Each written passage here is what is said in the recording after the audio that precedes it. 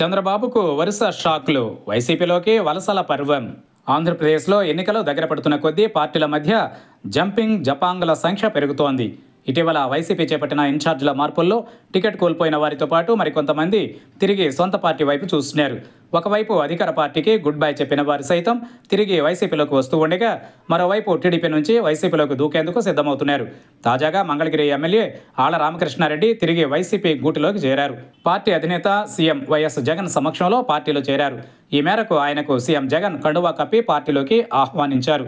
నూజివీడు మాజీ ఎమ్మెల్యే ముద్రబైన వెంకటేశ్వరరావు మచిలీపట్నం మాజీ ఎంపీ కొనకళ్ళ నారాయణ రాయచోటి మాజీ ఎమ్మెల్యే రెడ్డప్ప గారి రమేష్ రెడ్డి పాణ్యం మాజీ ఎమ్మెల్యే గౌరవ్ చరిత్రతో పాటు కుటుంబ సభ్యులు వైసీపీలోకి చేరేందుకు ఆసక్తి కనబరుస్తున్నారు.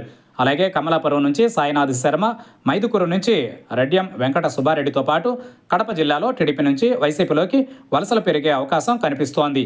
కాగా మరోవైపు కడప ఎంపీ అవినాష్ రెడ్డితో చర్చలు జరుగుతున్నాయి. వీరంతా త్వరలోనే వైసీపీలో చేరనున్నారని సమాచారం.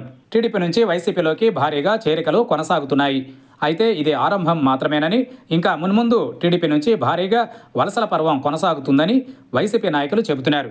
కాగా ఇటీవల సీఎం వైఎస్ జగన్ చేపట్టిన మూడు సిద్ధం సభలు సక్సెస్ కావడం టీడీపీ జనసేన నాయకుల్లో స్పష్టత లేకపోవడం వంటి కారణాలతో ఇంకా చాలామంది నాయకులు వైసీపీలోకి వచ్చేందుకు సిద్ధమవుతున్నారు.